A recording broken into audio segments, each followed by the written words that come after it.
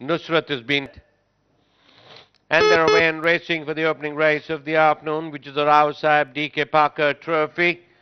Even dispatched from the gate by all the runners, and as the field settles down, it's Angels Harmony in the centre, the leader from Jetfire quickly into second, Nusrat in third as opposed to 12 one Length and a half behind is Boomerang close to the rails in the yellow and green being tacked there by Sullivan in the claret and gold. Applet with a thousand to go. On the outside in the blue and white is Kanchenjunga. In the white and green it, it's a deal. Last to fall is Imperial Heritage in the black and gold.